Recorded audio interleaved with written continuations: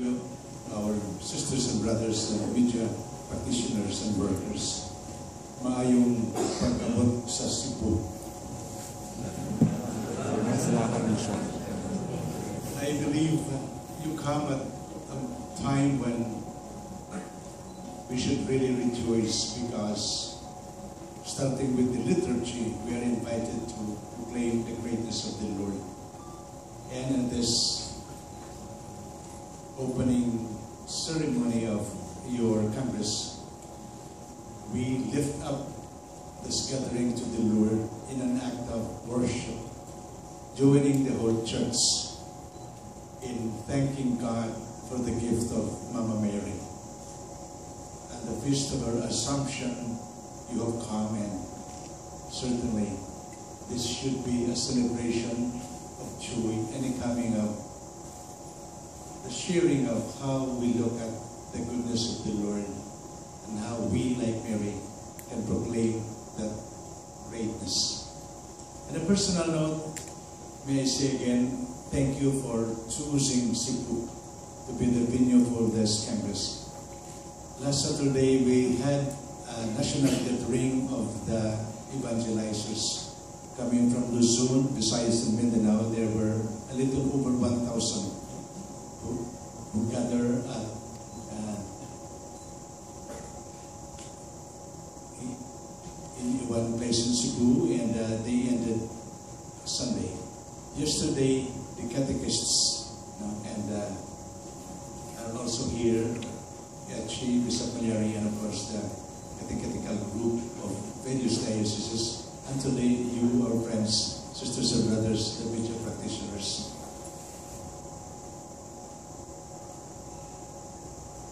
I'm sure in the next today and of course uh, tomorrow, you will be hearing more good news from each other and certainly uh, ways to proclaim the good news to our sisters and brothers. For today, let me join you in thanking God, first of all, for the gift of our Mother Mary.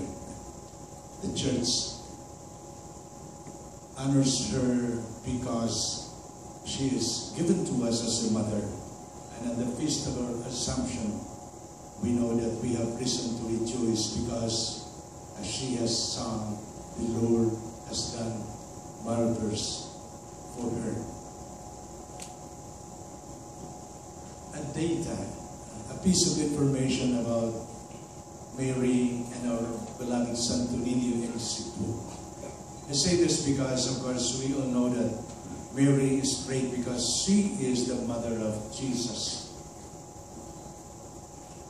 Sometime during the war, for fear that due to bombardment, you know, the Santo Niño might be destroyed, might be hit, knowing that the Basilica of the Santo is near the sea, they thought of bringing him to a safer place.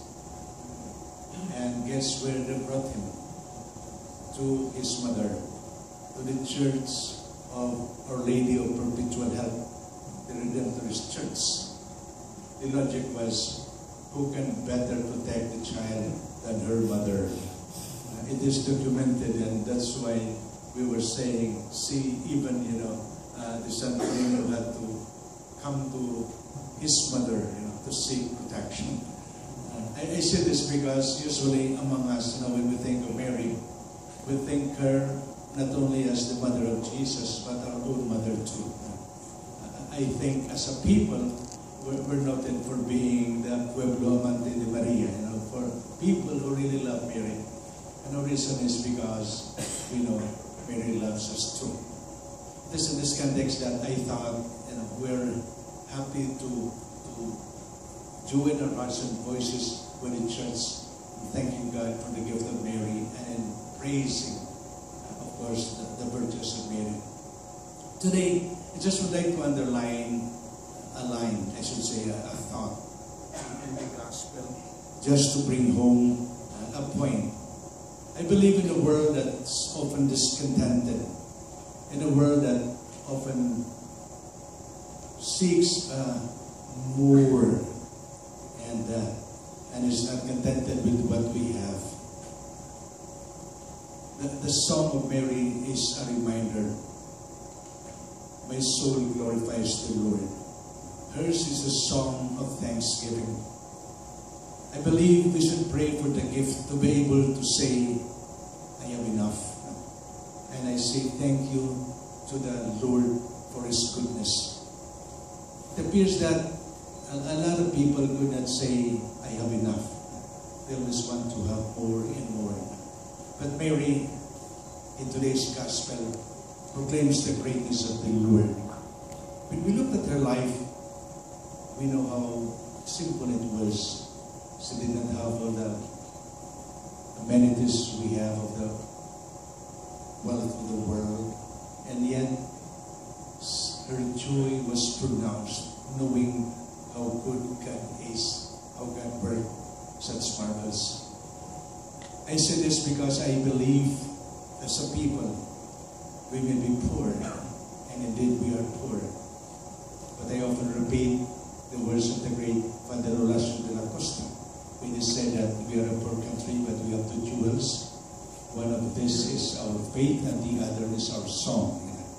And he said something like, as long as there is a priest uh, offering God to God at the altar, as long as there is a mother singing her lullaby, maybe we don't run in and, and we may be down and, and, and yet we will rise again. And that's to show our jewel as a people. We have, we have to thank the Lord for His goodness to us. And this is the Song of Mary. And I believe uh, this too is a challenge for all of us. If you think for a moment, uh, we are in the next you know, three years we will celebrate, four years, the fifth centenary of the beginning of Christianity in our country. And I thought the gift of faith, you know, that we are blessed of is something we have to rejoice. When we think of so many nations, and we are number three in terms of number of Catholics, Brazil, Mexico, Philippines. After us are Spain, Italy, and France, and many others. This too is something we have to thank the Lord for. If I think of, I often repeat this, uh, of, of how we were blessed with, with Filipino saints, you know, in the last few years. Lorenzo Ruiz Pedro Calungsod. If you think of the two biggest gatherings of, uh, of a people, when Saint JP2 came to our country, and when Francis, Pope Francis came the other year, this too is a gift. We should look at this as God's blessings, even in our poverty. When we think of how we were devastated by earthquake, you know, and, uh, October 15, 2013, and the typhoon, and November 8, and yet how now we're able to bounce back. That too is a gift. I'm saying this because I think when we are able to sing the Song of Mary, despite the many experiences we have had, you know, that, that certainly are challenges, then, then we know, we reflect that, that faith of a people.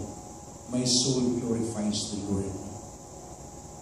I believe, like Mary, we are people who can bring joy and hope to others. And we know the reason why in the gospel, what great joy is he brought to Elizabeth. And we know the reason why, because in her is Jesus. In her is the way, the truth, and the life. I do believe, as media practitioners, as our Holy Father has so wonderfully reminded us during the readings, uh, the letter during Ascension Sunday, we can either bring the solid grain of truth and beauty and, and goodness or the staff of lies and, you know, and hopelessness. We know what to do.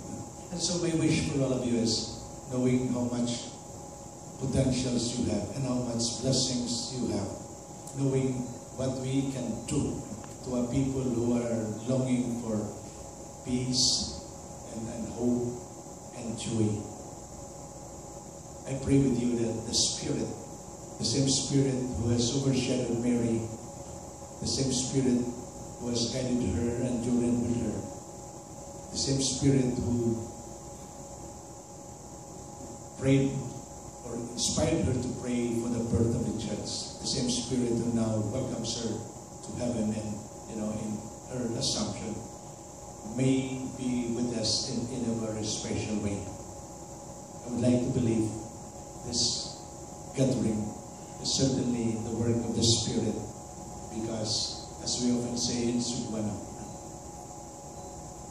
the uh, katagbawan, you know, the, the fulfillment, you know, the, the answer to our thirsts and longings of our people can only be found when Jesus is there, when God is in our midst.